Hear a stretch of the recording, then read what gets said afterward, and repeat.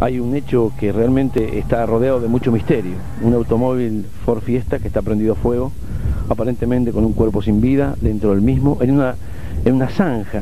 Es, es muy raro lo que ha pasado aquí, realmente.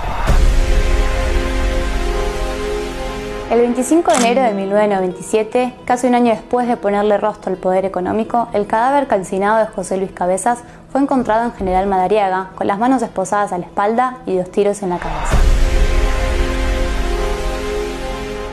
El caso Cabezas fue el segundo asesinato de un periodista en democracia y marcó un antes y un después en la sociedad argentina.